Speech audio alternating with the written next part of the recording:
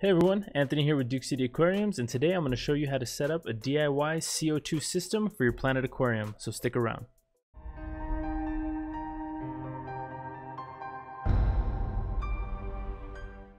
Alrighty, so like I said, I'm going to show you how to set up a DIY CO2 system, and I'm, I'm actually running one of those uh, right now on my Nano Betta Aquascape aquarium. I'll leave a link to uh, that video up in the little iCard here. I did a full video on that entire tank, not just the CO2, but kind of all the plants and everything like that, so you can go check it out if you want to. But anyway, as for today, I'm to go ahead and show you exactly what CO2 did to affect the plant growth in that aquarium. It's I've had I trim it all the time. Um, plants are just growing out of control. Actually, it's actually due for trim now, so that video will be coming out within the next uh, week or so of me doing a little trim on that aquarium. But anyway, as for today, let's go ahead and um, let's go and switch camera angles here, and I'm gonna lay everything out for the CO2 system itself. show you exactly how to set it up and what to do. So let's go. All right, so let's go and get started here. I have everything laid out and I don't want this to confuse you. Even though it looks like a lot, we're gonna break it down and go over each part one by one. I did get everything here on Amazon, so if you buy the same things, we can you can follow along with me with exactly what you bought. So now let's go over the parts. The first thing that you need is two empty 2 liter bottles. These are just old Sprite bottles. Alright, next we have citric acid and baking soda. I picked these both up on Amazon and the amount of CO2 that I used, they last me like six months.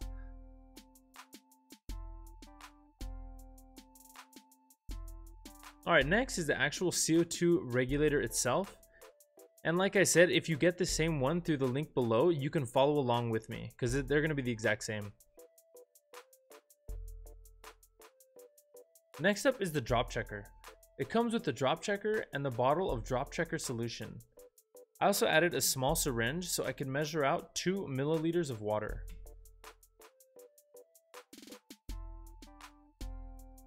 Next I have the bubble counter. This is going to let us know exactly how much CO2 is being pumped into your aquarium. And we also have the CO2 diffuser itself. I already attached a piece of airline tubing to it, so I don't have to do it later. And last we have a measuring cup and a funnel. Anyone will work. Alright, so let's go ahead and add our baking soda and citric acid to our bottles. The measurement for both of these is 0.9 cups. I know it sounds a little weird, but that's just what it came out to. Now, it doesn't have to be perfect, so just about this much amount will work. So using our funnel, we'll go ahead and pour the baking soda into the first bottle. Go ahead and set that off to the side for now. And we'll do the same thing with our citric acid. And like I said before, the measurement is the same. It's almost one cup. It's about 0.9 cups. So just about this much amount will work. The same thing with our funnel. We'll just go ahead and use that to pour in the citric acid.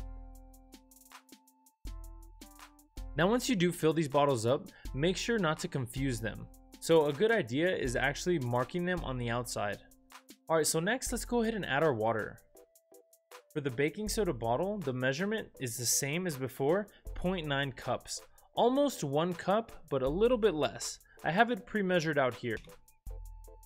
Alright, so using our funnel as before, we'll just go ahead and pour the water in, give it a shake, and set it to the side. Now for the citric acid bottle, it's two and a half cups. I have them all pre-measured out before, so we're gonna go ahead and pour them in, give them a shake.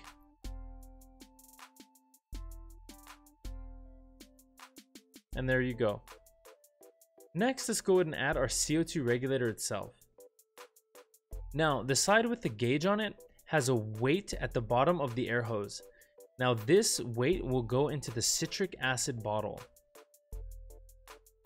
This kit does come with a small magnet that's meant to be used on the outside of the bottle to keep that weight at the bottom of the bottle.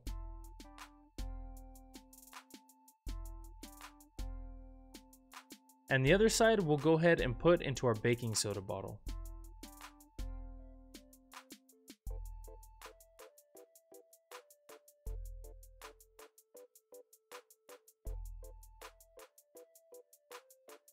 Alright, let's go ahead and add our bubble counter. As you can see, I've already filled it with water. Now, on the top, on one side, you will see a small black arrow pointing downwards. It's very hard to see on video, but you can see it in person pretty well. This indicates the intake port. Now what we're going to do there is the hose coming off of our baking soda bottle is going to be connected to that port. So the first thing we have to do is unscrew the small nut on top.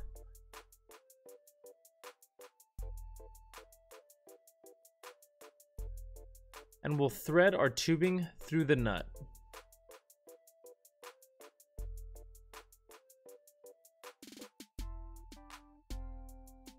Next, we'll go ahead and attach the tubing to the port on top of the bubble counter. And with it nice and snug, we'll go ahead and screw the nut back on. Don't over tighten, but make sure it's nice and snug.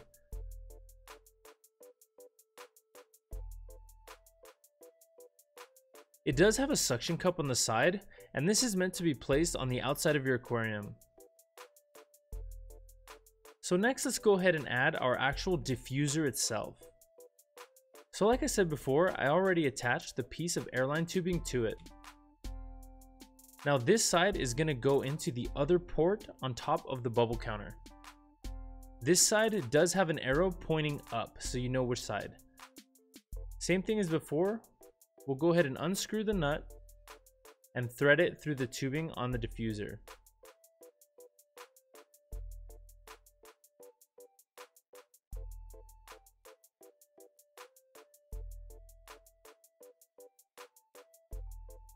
And attach the tubing to the port and thread the nut back on.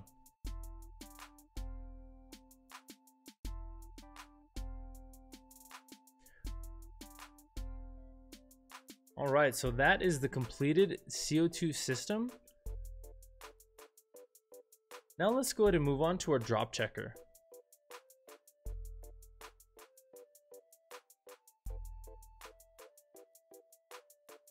So for this, I added five drops of drop checker solution and two milliliters of water. Just flip it upside down, fill from the top, and carefully flip it back over. Now like this, it's ready to be installed into the aquarium. Now this will come with a color guide and it will let you know if your aquarium has too much CO2, too little CO2, or not enough. Now let's install our CO2 system. The first thing I'm going to do here is use the suction cup on the side of the bubble counter and attach it to the back of the aquarium.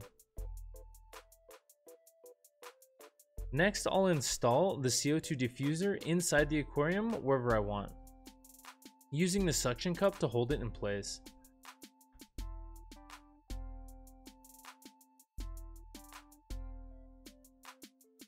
Alright, so next comes probably the most important part of this whole setup, and that is priming the bottles.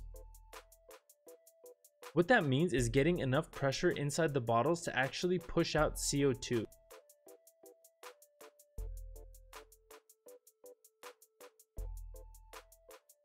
You'll see here on this gauge that we're at zero pressure right now. So in order to add pressure, we'll loosen up the nut on top of the baking soda bottle and we'll go ahead and squeeze the citric acid bottle into the baking soda bottle. Squeeze it together and then tighten it back up. Let it sit for just a moment. Now it's gonna bubble here and you'll notice that the bottle is already getting a little bit firm. So let's go ahead and do that one more time. We'll loosen it up. We'll squeeze and tighten it back up.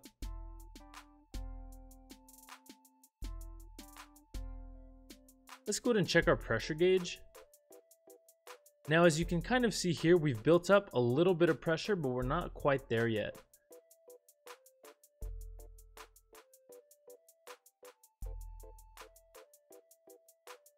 All right, so for the third time, let's go ahead and squeeze in some of the citric acid, tighten it back up, And for this time, I'm gonna let it sit for about 15 minutes.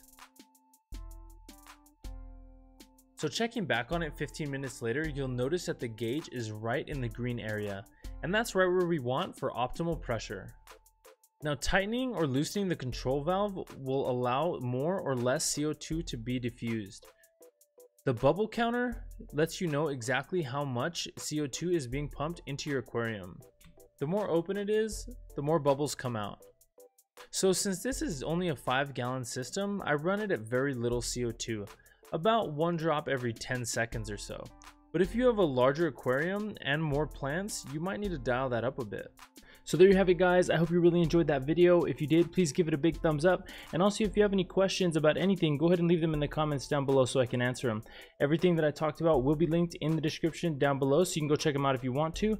But anyway, that wraps it up for me today guys. Thank you so much for watching. My name is Anthony with Duke City Aquariums and we'll catch you in the next one.